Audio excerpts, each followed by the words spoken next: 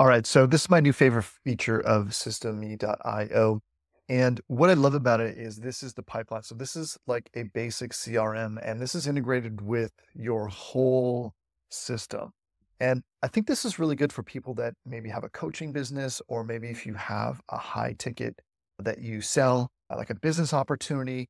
This is a great option because, you know, the truth of the matter is you can have email autoresponders, follow up, all that stuff, but there's still going to be some times where you're going to need to connect with people and maybe answer their questions. And this is a great way to do that manually. So you can just add a, a new contact here. You can add an existing contact and that's pretty easy to do. You can just start typing and it's going to search your whole contact contacts. And these are some demo accounts for me, but let's just add that for an example. Okay. And so I'm going to add that and then I'm just going to hit refresh and you'll see that now that contact demo has been added. And what's really cool is you can drag them to different like Kanban boards. And I find that this is perfect for really following up with people. You can edit your pipeline so it, it, it works for you and you can edit these different stages, right? So I have right now new leads, shown interest, ready to close, won lost, and long term follow up.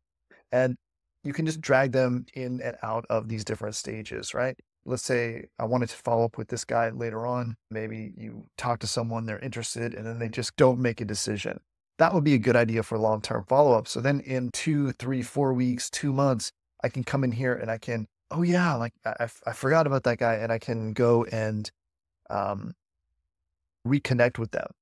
So for me, anytime I have a new lead, and this might be someone that might come in from a, they might not be in your Systeme.io eh, oh, account. So you can create a new contact and you can just create a, a new contact record for them, which is great. So it just makes it really easy and it makes it definitive, right? So if you bring someone in that's not in your in your account here, you can just add them and follow up with them as well. So for me, someone that's shown interest, someone that's maybe responded to an email, I'm going to keep them in here. And then if they start asking questions and they're asking like how much should things cost and how much money can I make and that sort of thing, then I'll put them in there. And then of course, won is someone that has purchased and lost is maybe they made a different decision and went in a different direction. And so I'll just keep them in there. But what I want to do is I want to open up a contact record and show you what's so cool about this. So here's the contact record. You can add notes right here. And this is really fantastic, right? So you can say, talked about baseball, Yankees or something. So you can easily pull this up while you're on the phone with them, or maybe they've, you've sent a, an email and put that in there. And then you can just save this. And now you've got the, the notes, right? And, and you can put in the, the date that you did that. And so you can keep adding more notes to this, right? So I can add something like that. And then you'll mm-hmm. see all these different notes that, that you have and you can edit them. So this is really great. You can even put in links, right? So if you mention a link, this is a, a really great way to follow up and it's so simple as well. You can also email them directly. So if I click on this, it's going to open my email browser and I can email them personally, which makes a lot of sense for you wouldn't think necessarily that would be the best way to do it in a system like this, but it is. So you can just send them an email and that makes a lot of sense. So you can remove the contact from this whole pipeline or you can open the contact record. And this is where I, I really see a lot of magic because it's so much easier to start a conversation when you know what someone has has been interested in.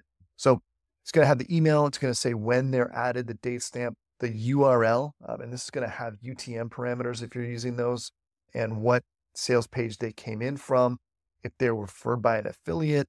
And you can come in here and edit any of these things, right? So if I want to capitalize the name, or maybe I discover their their last name, I can add that in. If I define what city they're in, that sort of thing, so I can save that. It's also going to show what tags they're on. Now you'll see that this one is on new lead and student build list, but I can also add them to a tag just like that. Okay. And you'll say their subscriptions, their payments, email campaigns that they're a part of, and when the last email was sent, their tag history when that was done what courses they're a part of. And this shows their actual progress. So you can talk to them and you can say, you know, what happened? I saw you started the course, but I, uh, you haven't followed through. I set up a workflow so all the links go to Google Sheets as well, just as a backup. And it, sh- it, it tracks that, it shows that, it shows what automations that they've been a part of.